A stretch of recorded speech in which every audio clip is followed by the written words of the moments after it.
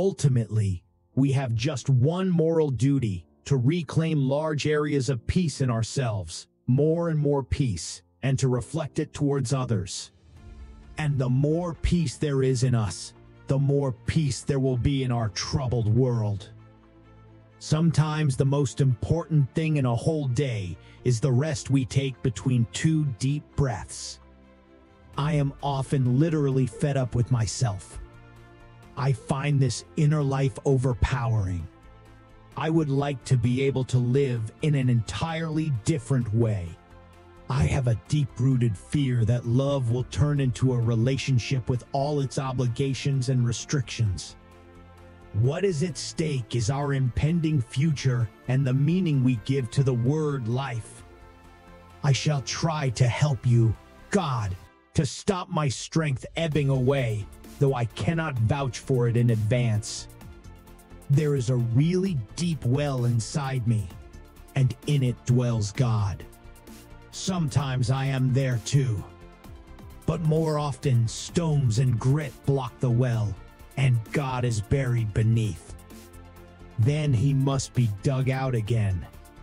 Ultimately, we are all a little blind and deaf. That is why we always find ourselves in the wrong. And I believe that there is something holy about everything, and that words can play no part in it. And so life just batters away at me, and I respond, and sooner or later, I will become whole and will be with God, all of God. One of the most difficult things is not to change society, but to change yourself. In the knowledge that I am complete with all my imperfections, I am complete. It is an art to be in love with life and yet not feel hurt by it. Every experience leaves a residue in us, Everything we go through in life brings us a little further towards a final destination.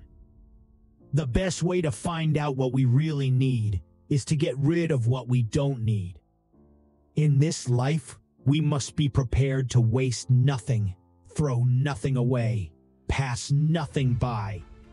I can give myself a fair amount of rest, and then I don't have to demand it from others. I know what weak people are what strong people are, and what dictates our actions and reactions.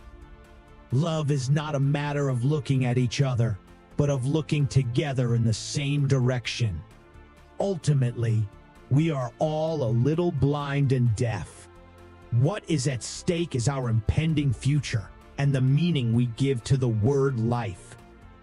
And we shall continue to find solace for ourselves, not in shared acts of heroism, but in small daily acts of love.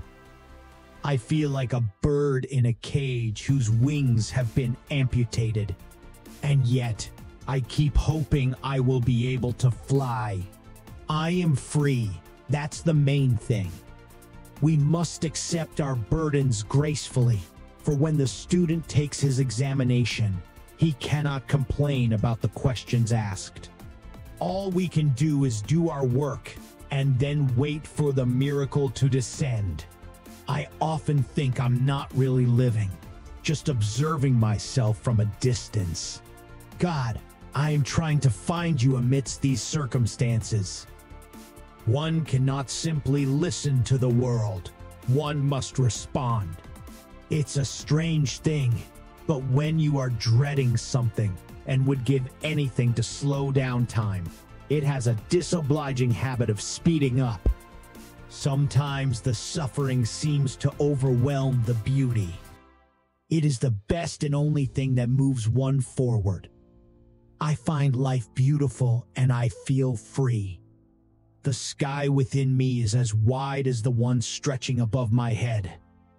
I should like to be at least a small footnote in that story. We should be willing to act as a balm to the wounds of the world. It all depends on what one expects of life. The more precisely you try to grab hold of the moment, the more elusive it becomes. I will not leave it to others to be the good and noble in my place. God, help me.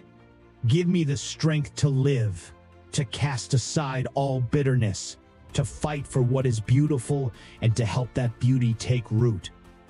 I must not dwell on things that are futile, nor allow what is beautiful and good to be blighted. All men are sons of God and should make a proper effort to live up to the divine image within them.